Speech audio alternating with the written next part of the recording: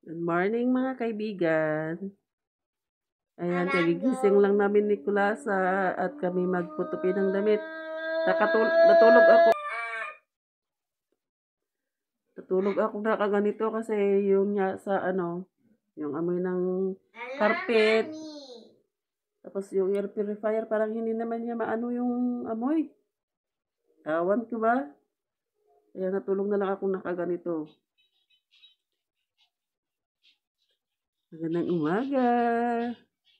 Tara na at mag ano tayo ng higaan, mga kaibigan.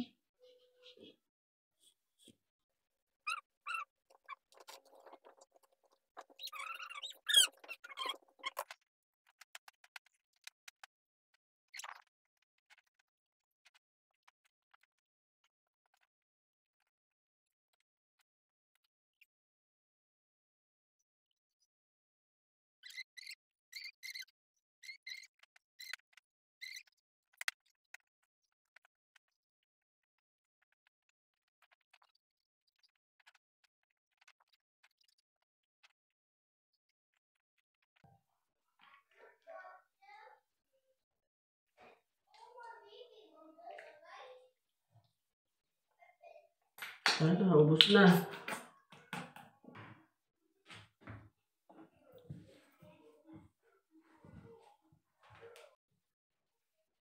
Ano? Yeah. Ang ganda. Ayan guys, maglagay tayo ng skincare.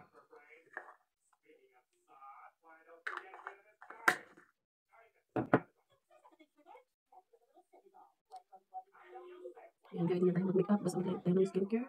Everyday. Kasi maganda ito kasi ito lang yung hiyang ko. Sa totoo lang, ito na lang. Yung hiyang ko, yung binili ko na rin ng serum, wala. Nagyawat ako dito yung likot-likot.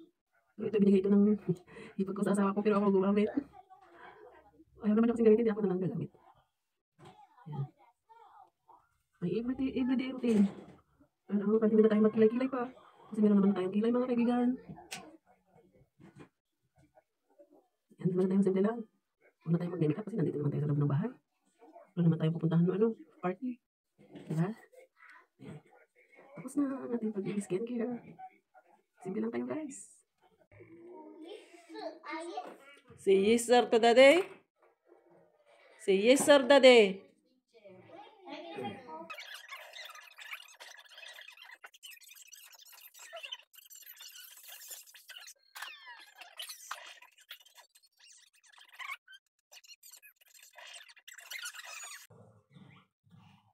Maganda na naman ang laro ninyo. Mamaya mag, mag-away na naman kayo ah. Kape muna tayo mga kaibigan. Yan, mag, magkape tayo tapos kain tayo ng, ay, agi kape tayo tea digestive. Digestive. Ito yung mas, mga gusto ko na ano eh, pag nagkakape ako, mga ganito yung gusto kong ano. Tapos yung bread na, na ano, na toast bread. Ayoko yung hindi na i-toast. Mas masarap yung ganyan. Yung na toast. Mm. Habang nagpapakulo ako ng itlog kasi gusto daw ni Iris ng egg sandwich. Kaya kape muna tayo. Habang tayo naghihintay ng ano ng pagkain ng mga bata.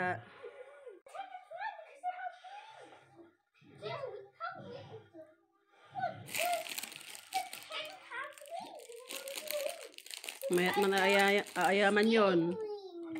Ito madamdamag, pinakul kayo tumanan. Yan mga guys, lagyan ko na siya ng asin. Mommy, Tapos is lalagyan it ko still done? Yes, it's it's done now, baby. Lagyan natin natin ng mayonnaise. How about the sauce? Why you want me to put some ketchup? Yeah, so that it looks tasty with, the, with some sauce. Okay, lagyan ko siya ng mayonnaise at saka ano daw, tomato sauce. Lagyan ko daw siya ng ketchup. Ewan ko kay Iris. Ano kayong lasa? Tapos, prutas, uh, cucumber at saka strawberry si Irisa. Grapes, mga ganyan. orange. Pero si Stewart naman, magkaiba kasi sila ng gusto eh. Si Stewart naman, ano, um, apple, yung ganito, yung green at saka yung red. Tapos banana. Si Iris ayaw niya ng banana. Kaya magkaiba talaga sila ng ano gusto. Mommy. Johnny, Yes. Nagutom na kayo kasi kanina tinatanong ko kung anong gusto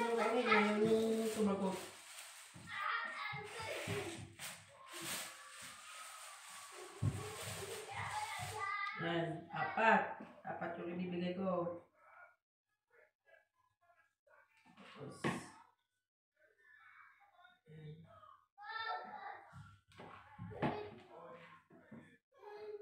Ano kayang balita dyan sa kausap ni Stewart? Sana surprise na. Sana. Sana good news.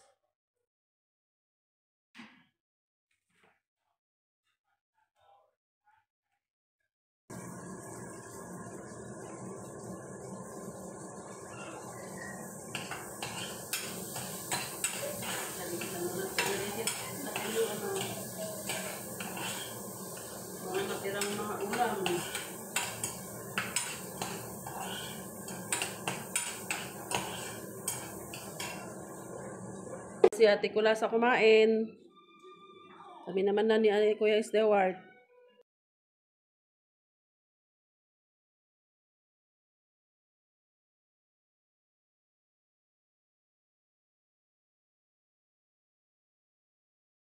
Today, I'm gonna ride in my bicycle, but we need to get already. It's raining outside. I don't see any rain. Yes, it Daddy is.